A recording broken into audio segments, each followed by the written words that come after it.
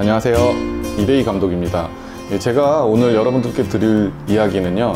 3D 애니메이터가 꼭 알아야 할 카메라 moving 세 가지입니다. 빰빰. 카메라, 촬영, 이 레이아웃 이런 부분들 같은 말인데요. 이 부분은 어떻게 보면 한 사람이 평생 공부해도 다 못할 만큼 굉장히 방대하고 깊이 있는 그 전문 영역이에요. 나이 많으신 촬영 감독님들 보신 적 있죠? 영상이나 이런 데서 가끔 그런 정도로 이게 굉장히 전문적으로 공부를 하고 또 파고 들어가야 하는 영역인데요. 중요한 거는 한국에 있는 애니메이션 회사에서는 이 레이아웃 부서가 없습니다. 물론 이제 아예 없는 건 아닌데요. 전반적인 경우 애니메이터가 레이아웃을 잡아요. 이게 무슨 얘기냐면 예를 들면 이런 거죠. 배우한테 카메라 세팅 해놓고 자기가 연기하고 자기가 촬영 다 해라.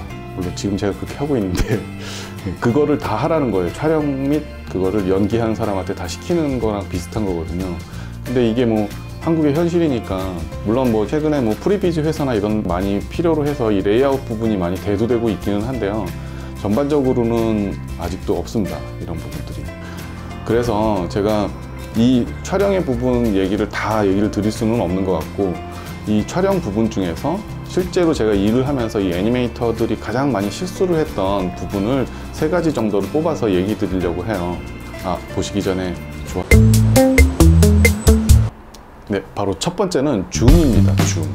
아, 그걸 줌 누가 모르나요? 아, 줌 그거 핸드폰에 붙어 있어 이렇게 조절하는 것도 다 줌으로 당기는 거잖아요. 다. 예, 맞습니다. 예, 그게 줌인데요. 그 얘기를 하려는 건 아니고 이 얘기를 하기 위해서는 tracking shot이란 걸 제가 개념을 잠깐 설명드려야 될 것 같은데요. tracking shot이라는 건 뭐냐면은 실제로 이제 영화 촬영을 할 때 움직이는 shot에서 트랙을 깔아놓고 그 위에 촬영 감독이 앉아서 그 위에서 촬영을 하는 거예요. 이렇게 움직이면서 그 트랙을 따라서 움직이면서 촬영을 하는 걸 tracking shot이라고 하거든요. 물론 영화에서는 뭐 그 장비들에 따라서 뭐 dolly shot, crane shot, 뭐 steadicam shot, 뭐 flying cam shot, 막 이렇게 장비에 따라서 그 말들이 많이 나눠지는데요.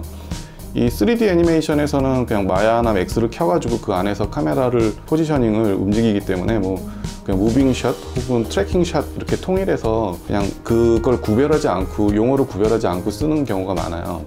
음, 예, 제가 드리고 싶은 얘기는 트랙 위에서 어떤 한 인물한테 이렇게 쓱 그 트랙을 타고 이렇게 들어가면서 찍는 것을 track in이라고 하거든요. 나오는 걸 track out이라고 하는데 이 track in out하고 zoom in out을 구별하는 겁니다. 그러니까 어 뭐 똑같은 거 아닌가요? 그냥 어차피 인물을 커- 화면 안에서 커지게 하고 작아지게 하고 뭐 비슷한 거 아닌가요? 라고 하는데 그거는 좀 비전문가의 시선이고요. 실제로 영상 연출에서는 그거는 전혀 다른 전혀 다르게 쓰입니다. zoom in out과 track in out은 전혀 다른 의미로 쓰여요.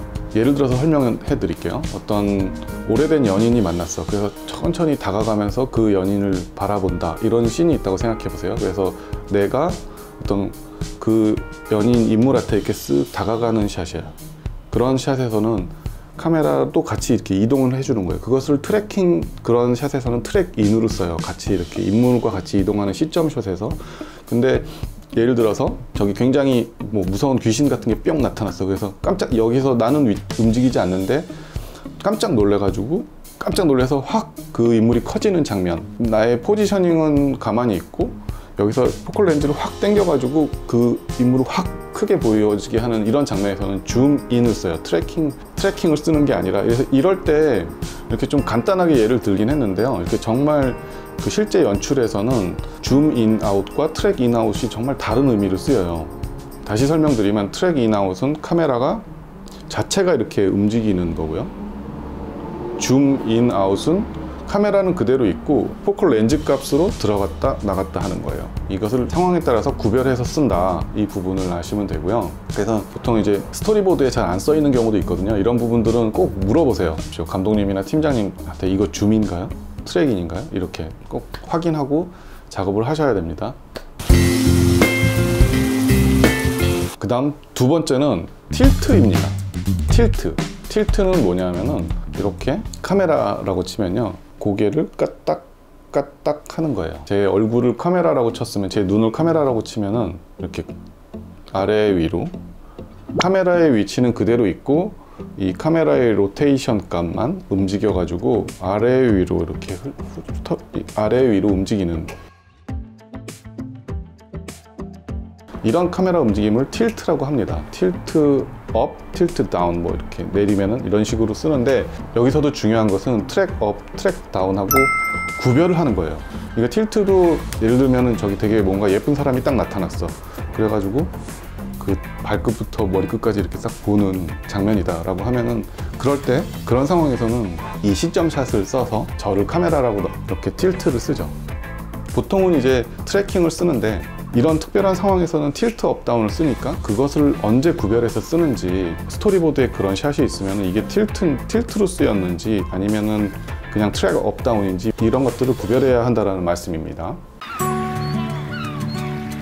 세 번째는 panning입니다.